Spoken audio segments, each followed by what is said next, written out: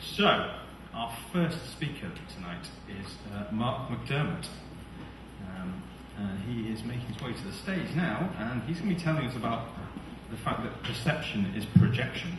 Um, so, I haven't looked at the slides yet. I don't know what it's going to be about. It'll be interesting. But if you can welcome to the stage, Marc.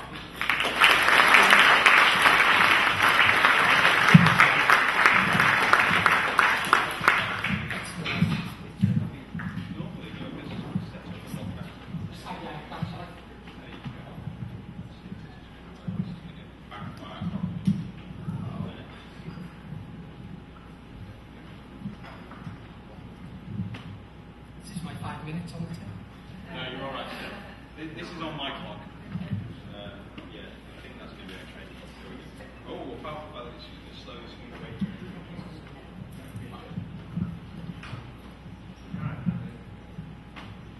I don't have to use this. That's good. There we go. Thank you very much. Good evening. So, um, I'm going to very quickly obviously talk about perception as projection. It's a concept that when you get this into your mind, it'll change the way that you perceive people, situations, and so on. It will make you change the way that you uh, choose your strategies, the way that you employ yourself along the way to get the results that you actually want to get. Okay, so uh, Alfred Korzybski, quite a dude from the past, he said that the map is inside your mind, it's not outside. The picture you're seeing at the moment is inside your mind, it's not actually outside, although it seems like it is. The question is, who's driving your bus? Now, if it's not you, then it's someone else. And depending on who it is that's driving the bus, I mean, I'm seriously worried, you know. So I want to find out how to drive my own bus instead. So there's a number of ways that we can actually do that. So if I'm at the cause side of an equation, the other side is effect. From the effect side, then you know things are happening over which I have no control. It's just happening to me. If I'm the cause side of the effect, then I'm causing my entire experience. I'm choosing to have the experience that I'm having. All the decisions I'm making are leading to the results I get at the rate of 11 million things per second are coming at you from the outside world. Okay, it's far too much for me to actually conceive of the events that are surrounding you. So what you have to do is you have to choose. Now, if I gave you one cocktail a stick a second, and you have to say whether it's dipped in paint or not, that's easy. 126 per second, which is what your brain processes the 11 million. That's kind of it. You can just about hang on to it. 11 million a second, no chance whatsoever. So what I have to do is I have to select things because there's only a certain amount that I can actually personally know. There's what I know I know. There's what other people know that I could be aware of. There's other stuff that they're aware of that I'm not aware of. There's stuff that nobody's aware of, and then the stuff that we can't ever know. So it comes in 11 million bits per second. I'm going to delete stuff, distort stuff. I'm not listening to the air conditioning, for example, that's deleted. I'm going to distort stuff and I'm going to generalize. We're in a place, there's lots of you, you're all very friendly, there's a generalization for you. As a result of that, I'm going to put 126 bits into my mind. I can only be aware of seven of them at any given moment. And from that, I'm going to have thoughts. Thoughts create feelings, feelings create physiology, and that all goes round in circles and it comes back out as behaviour.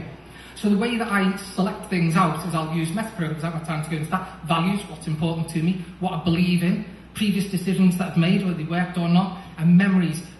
Kind of filters that I'm going to use to get down from 11 million down to just the 7 that I can actually hang on to at any minute.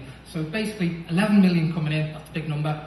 7 is what I'm going to end up with, 126, that's what your brain works with.